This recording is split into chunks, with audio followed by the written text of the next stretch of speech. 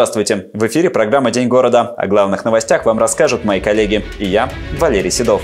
В ожидании большой воды в Рязани Ока поднялась на 17 сантиметров. В области подтоплено 8 низководных мостов. Маски сброшены. Дирекция благоустройства приступила к расконсервации фонтанов. «Наука побеждать» в Рязани стартовал межрегиональный патриотический форум. 4 апреля в Рязанской области началось половодье. Пока что уровень воды не критичен, однако это первые дни, все только начинается. Спасатели мониторят ситуацию ежедневно. Подробности о том, что происходит в районах, далее. В Рязани уровень воды в Оке поднялся на 17 сантиметров, но все еще ниже нулевой отметки гидрологического поста. В области ситуация напряженнее. Например, в Касимове уровень Оки больше, чем на метр выше этой самой нулевой отметки. На сегодняшний день подтоплено 8 низководных мостов. Движение транспорта по мостам прекращено. Установлено ограждение и запрещающие знаки. Проведено оповещение населения. Жизнеобеспечение населения не нарушено. В том числе решены вопросы пожарной безопасности продовольственного и медицинского обеспечения. Эвакуация населения не требуется. Через часть мостов есть объездной путь. В Сапожковском районе такие отсутствуют, поэтому там организовали лодочные переправы. Помимо мостов пострадали и дорожные участки. Обстановка находится на постоянном контроле Главного управления МЧС России по Рязанской области. Ежедневно проводится мониторинг оперативными группами, используются беспилотные летательные аппараты.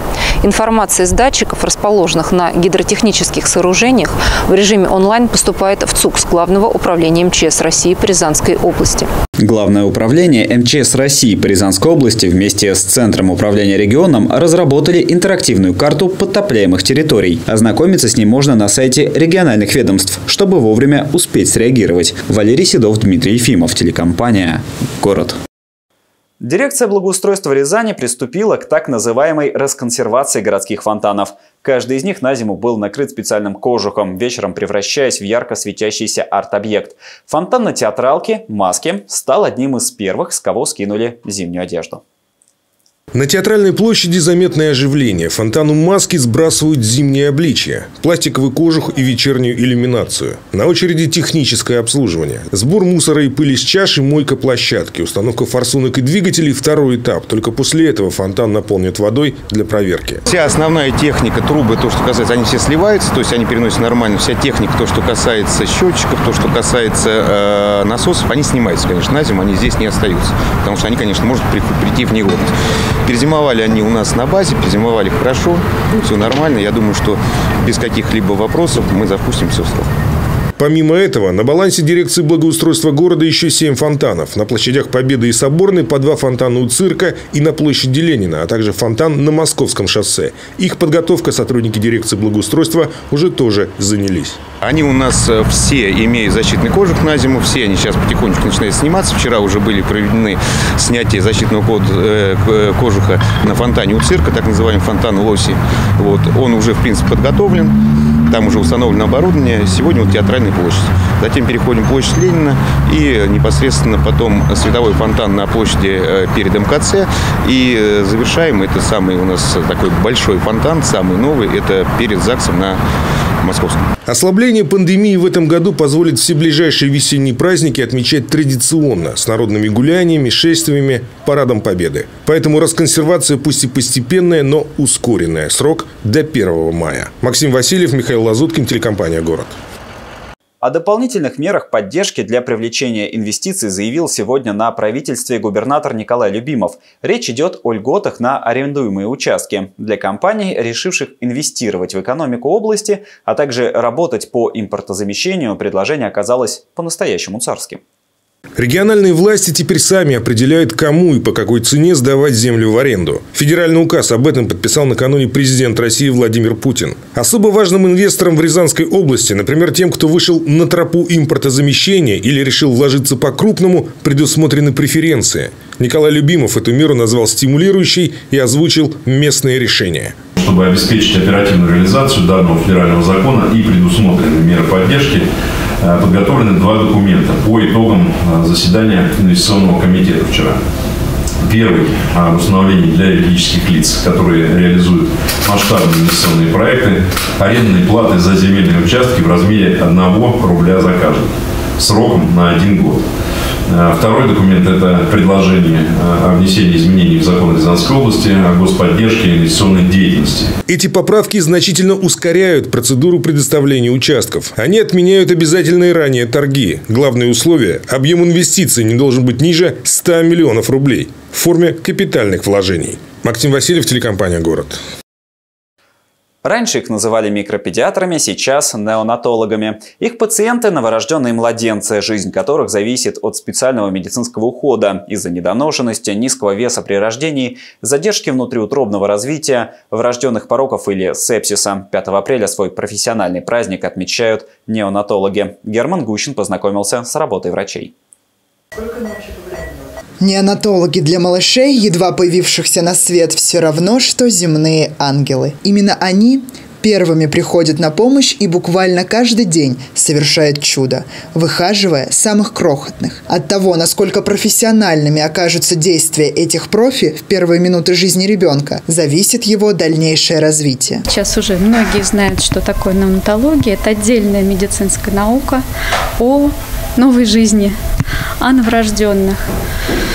Но она достаточно молодая наука, такая же молодая, как наши новорожденные дети. Нам в отделение поступают дети первого месяца жизни из родильных домов, города, области, из других областей иногда получается так. Поступают детки из дома, которые выписаны благополучно были домой, дома заболели, ну, всякие бывают причины, да, по которым они сюда попадают. Главное качество тех, в чьих руках жизнь и здоровье самых маленьких пациентов, как говорят сами врачи, это доброта. Еще в начале века 80% новорожденных с весом тела менее килограмма спасти либо не удавалось, либо они становились инвалидами. Сейчас эта цифра снижена практически 8 раз. Помогает уникальная техника, жизненно важная для вот этих малышей. У того, кто появился раньше срока, своя история чуда и благодарности врачам. Никто не ожидал то, что так получится. Мы лежим уже почти месяц. То есть почти месяц прошли этап реанимации, прошли этап ПИТ.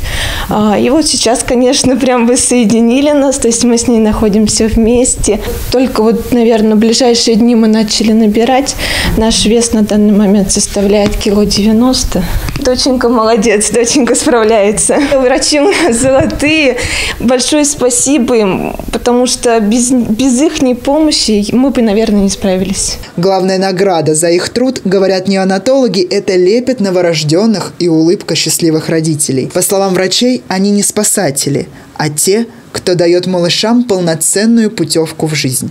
Мы всегда чувствуем тревогу, всегда за этих детей, потому что понимаем, что жизнь длинная, и на протяжении этой жизни очень много может встретиться болячек, и очень надеемся, когда выписываем здорового, да, уже выздоровевшего ребенка, что он к нам больше никогда не вернется. А если вернется, то радостный и счастливый. У нас отделение рассчитано на 70 коек, вот. Э, врачей, соответственно, тоже нужно много, чтобы уделить э, внимание всем нашим деткам. Врачей у нас 10.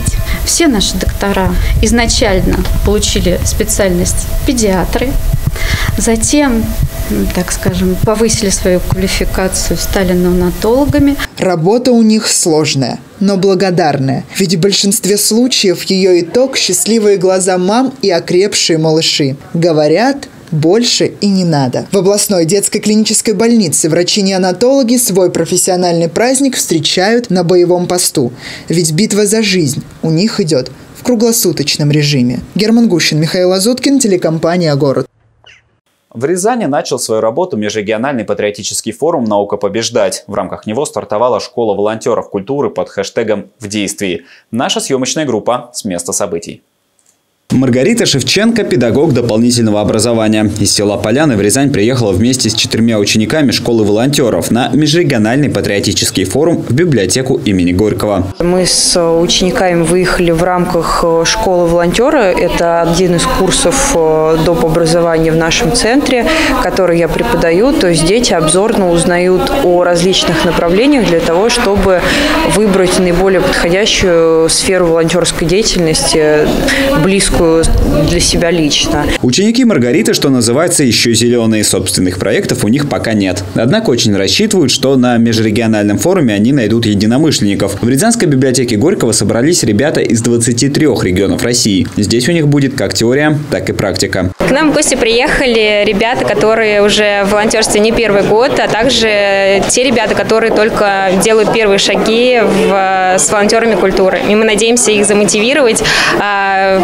и нам помогут, мы надеемся, наши ребята, которые уже давно в волонтерах культуры.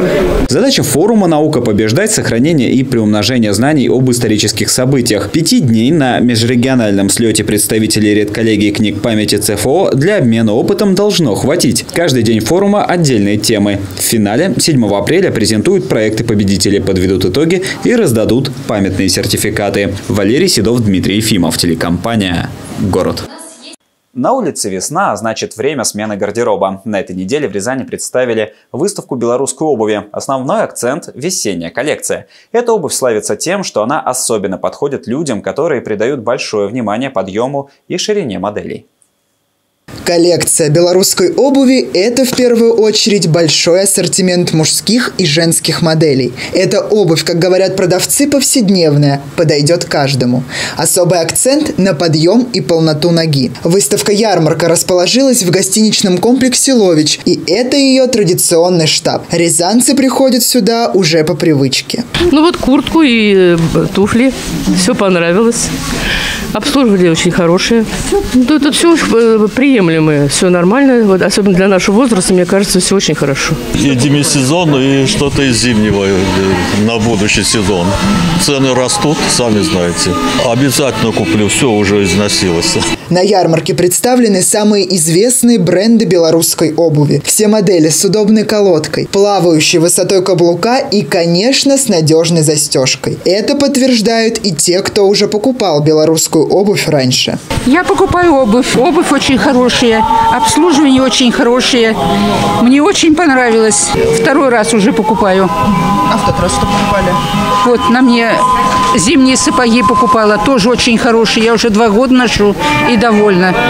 Обувь хорошая, качественная. У нас очень большой подъем и ширина большая. Придем, придем обязательно. Хорошая обувь, мы довольны. Ну, легкая, чтобы была обувь, мягкая, чтобы была, чтобы был комфорт на ноге. Ну, так. А вот эти рязанцы на выставке в первый раз. Индивидуальный подход продавцов их сразу же расположил. Выбрала ботиночки, чтобы можно было ходить без отдыха, не сидеть, а бегать. Покупаю первый раз, просто приходила как на экскурсию. Белорусская обувь удобная.